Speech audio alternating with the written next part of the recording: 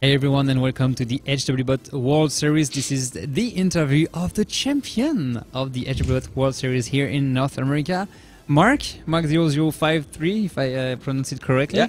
Uh, thank you very much for being here with us. Congratulations on your uh, on you being the champion, and uh, that's good because I know we'll uh, we'll see you again this year in Germany at the end of the year because you won the golden tickets for the HWBot World Championship.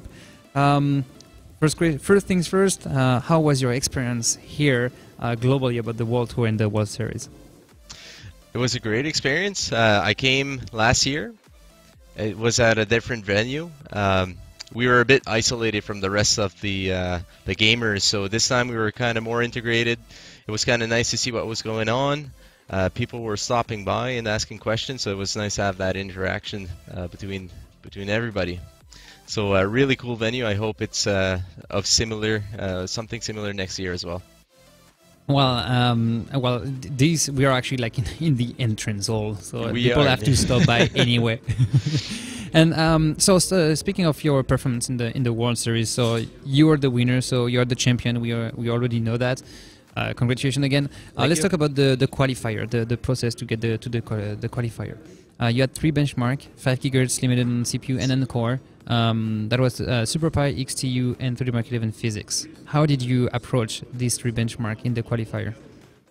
So um, the first thing I did was to try uh, just just with the CPU pot, no liquid nit- nitrogen in it, and just to get a base at maybe 4.5 gigahertz to have an idea of uh, you know work on the efficiency. And there's already a 5 gigahertz uh, challenge on HWBot, uh, so I was able to practice a bit on there, try out some tweaks, uh, learn a bit about the memory, see how that impacts the scores as well. So um, when we got here to the qualifiers, those three benchmarks I had work a bit on it uh, with DDR4 and the Z170. So it really helped out a lot.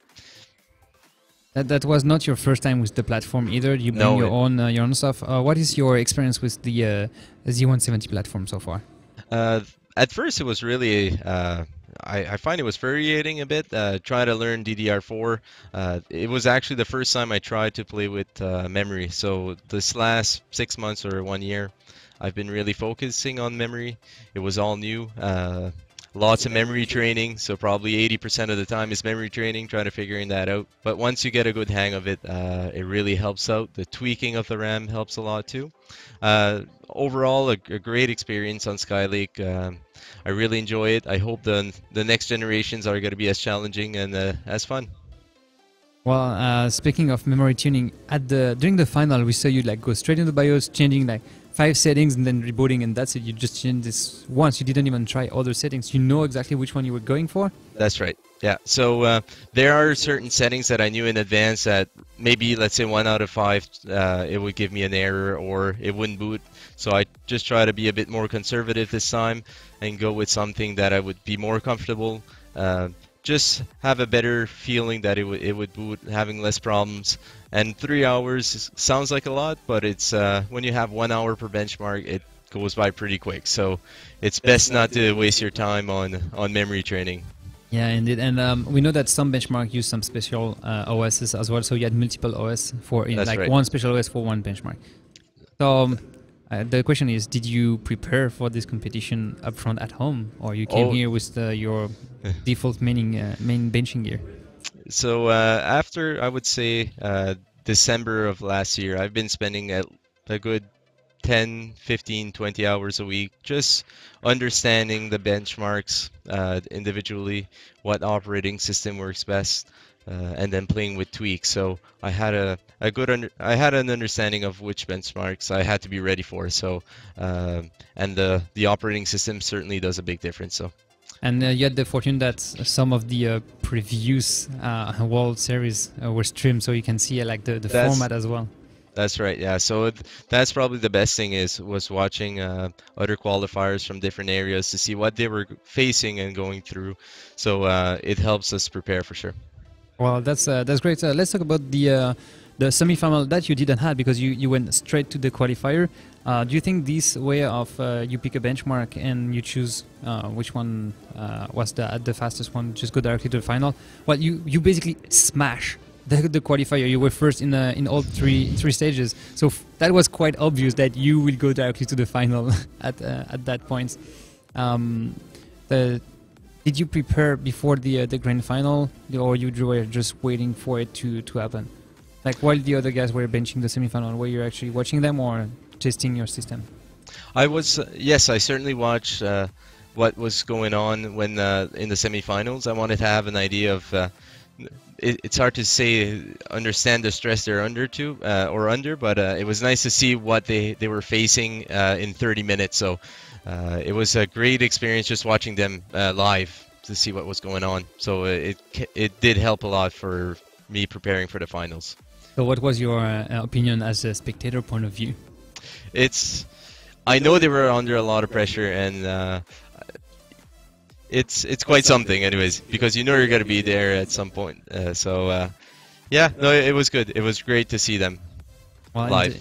Yeah, interesting to, uh, to, to hear that from you. Um, let's talk about the, the grand final against uh, against Tony uh. Um, you guys choose uh, Cinebench 11.5.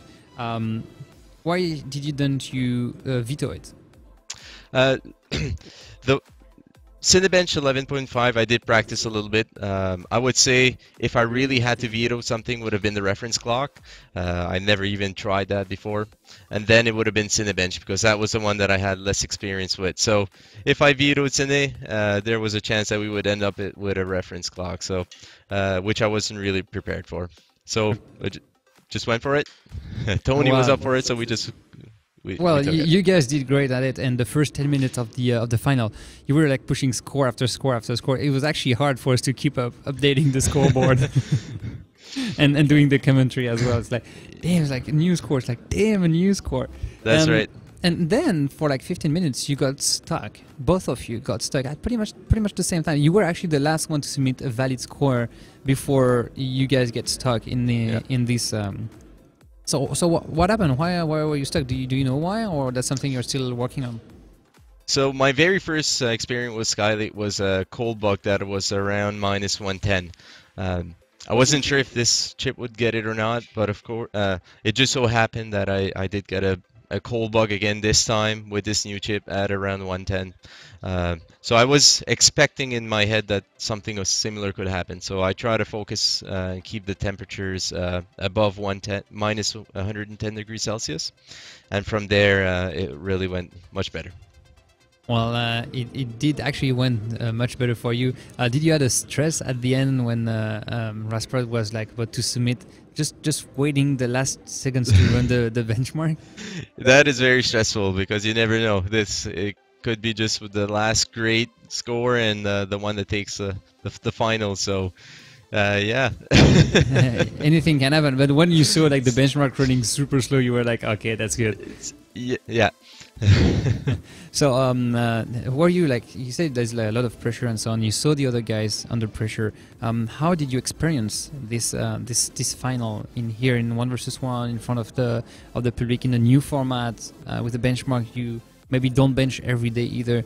Um, how was this for you? Like were you super stressed or you just took it like stress before and then everything went off once you get yeah. on the stage um, so uh, by watching the other competitions uh, in Brazil, in Europe, uh, it I've seen what the guys were facing during the semifinals and the finals in the last 30 minutes. Uh, a lot of the guys were taking it slow, starting uh, easily, slower clocks, just building incrementally, try to improve their scores. And I find uh, that works well with my the way that I deal with with stresses. So I just use that strategy uh, based on what I've seen from other people do.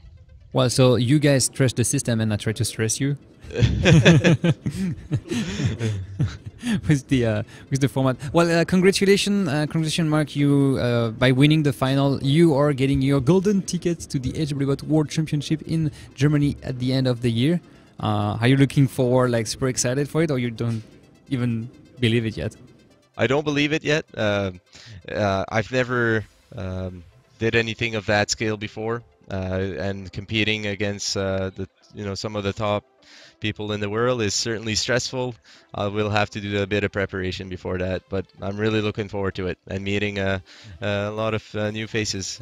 But still, you're uh, number one overclocker in Canada. You're in the top 60 worldwide. This is uh, hardly quite an achievement, and now you're uh, you're showing off that yes, I can be in that league as well. I I'm I'm here, and you're here to stay. well, that that was uh, that was great to have you. Thank you very much for your time. Uh, one last question is, uh, what is your uh, general feeling about the World Tour uh, activities here for this year? Uh, in in terms of the LAN ETS, In terms of like how it was arranged and how it Oh, was, how it was like y- your experience as a person Yeah. coming for the World Tour. So compared to last year, I felt uh, this was a huge improvement. Uh, it feels very professional, and we're walking into something that uh, everybody is being challenged uh, in in a in a specific way where uh, there's people dominating for sure, but. Uh, it- it's just a great a great feeling this year. I like the strategies that are behind it, and uh, HW Bot is doing a fantastic job to prepare this and uh, to make it move forward for sure. Well, uh, thank you very much. It's, it's been a hard work as well on our side, and we can't wait to be uh, at the the next one that we'll be doing in Taiwan during the Computex. Uh, and if you guys want all the information, you can find them back on YouTube when we did the announcement, or you can find them on hwbot.org. Thank you very much, Mark. Congratulations once again on uh, winning the North America Thank leg of much. the HWBot World Series. and thank you guys on the live and uh, and watching this video replay on YouTube. Uh, without you guys, we would not be able to do all these live streams. So this is always great to have uh, all these all these of you guys commenting on the videos or on the live chat when we are live. Until next time, keep pushing it.